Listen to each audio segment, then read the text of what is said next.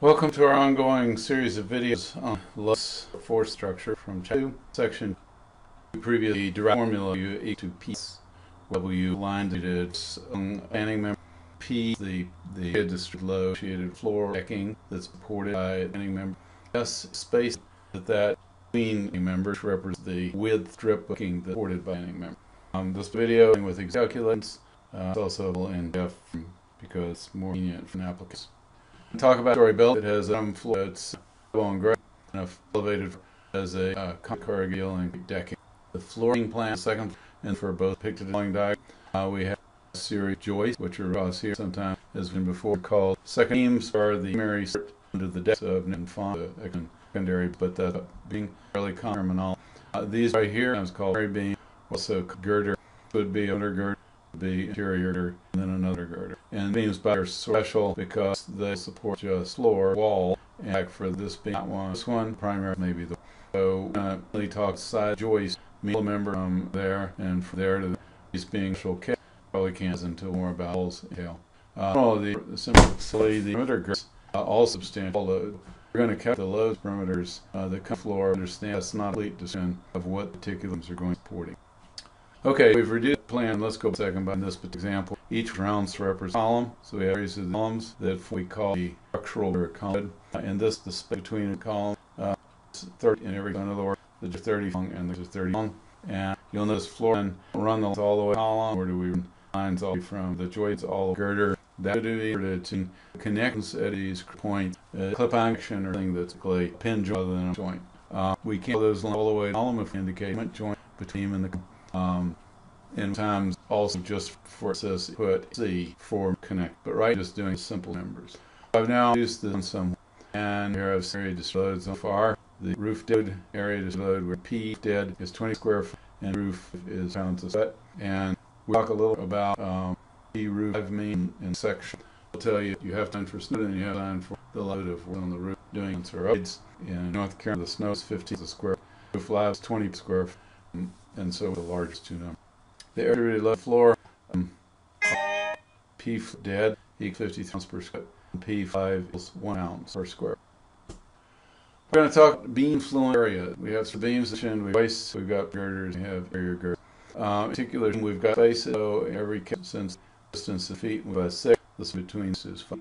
Joist ports way to the joist on the side. In other words, this is supporting a swap floor, the feet the length. When we come perimeter there's no low side support halfway over to the side, so the floor support is 50 feet.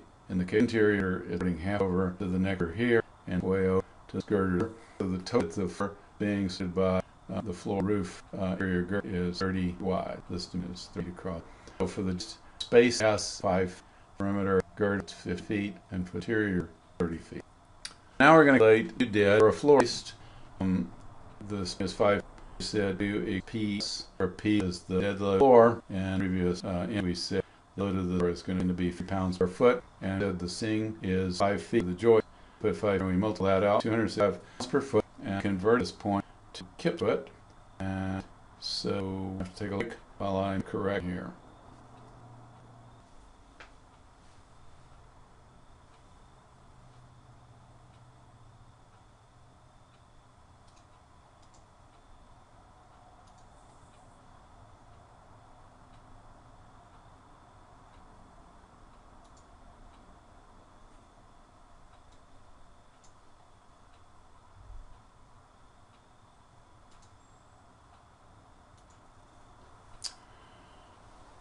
Okay, I think we're running again. So I've converted that to kips per foot, and the reason I did that, by the way, is that uh, at certain points you're always going to be asked in specific units. For example, in all the uh, example software that I know, they only input loads in kips per foot.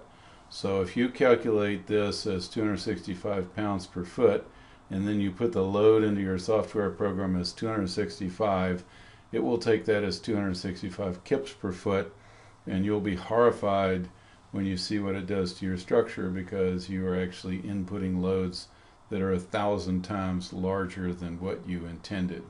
So one of the things you need to do after you calculate these numbers is look at the units and make sure you absolutely know that you have them in the correct units that you want them in. Uh, units, uh, we've said this before, are unbelievably important. A lot of people will just sit there and calculate numbers and go glibly along, uh, utterly oblivious to the fact that they're off by a factor of a thousand because they haven't even made the effort to track their units. Okay, so W live on the floor joist, so again we're talking about this joist here, is P live for the floor times S for the joist. We've said the live load, uh, P live for the floor, is 100 pounds per square foot. Again, the spacing is 5 feet. That comes out to 500 pounds per foot because this foot cancels one of those, or 0.500 kips per foot. And then if we want to know the total factored load, which is what we have to design for, it, we have to design it to support that total factored load. We're going to take 1.2 times this number, which is W dead for the floor joist, plus 1.6 times this live load. Remember that we put a bigger factor on the live load because we consider that our knowledge of it is less certain and we want to be more conservative. Whereas for the dead load, we're pretty sure we're in the ballpark, and so we put a smaller load factor, which yields a lower safety factor, but we're okay with that because we're pretty confident of what we do uh, in the calculations of the dead load. So when we multiply all this together, we get a total factored load on the floor joist of 1.118 kips per foot. Now we're going to go um, perform that calculation for the um, perimeter girder for the floor. So this is W dead for the floor perimeter girder. Again, it's P dead for the floor times, and now I got another mistake here because I need the spacing for the perimeter girder. So we're going to take a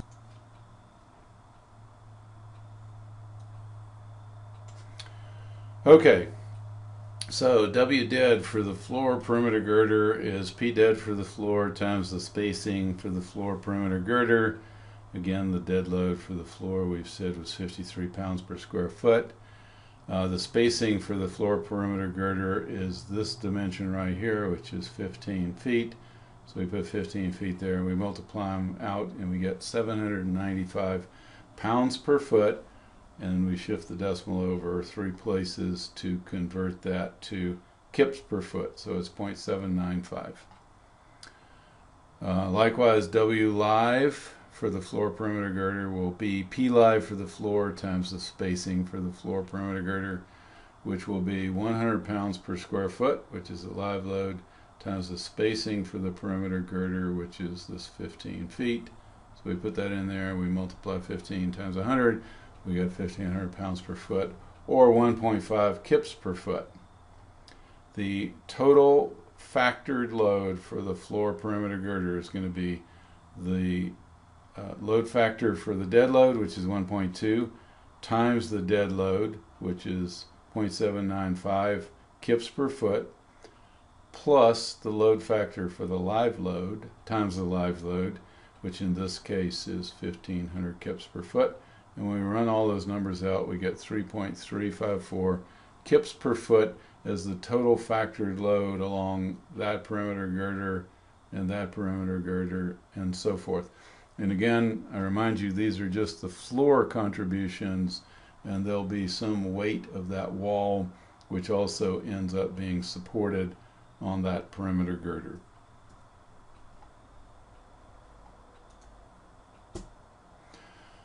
So finally we're going to take an interior girder and we're going to take another break. All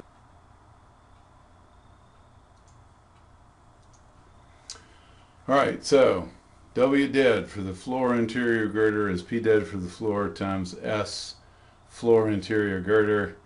The floor interior girder has a swash of floor uh, 30 feet wide that is supporting and the dead load for the floor was 53 pounds per square foot. So when we multiply those two together, we get 1,590 pounds per foot or 1.59 kips per foot. Likewise, W live for the floor interior girder is P live for the floor times this spacing for the floor interior, interior girder.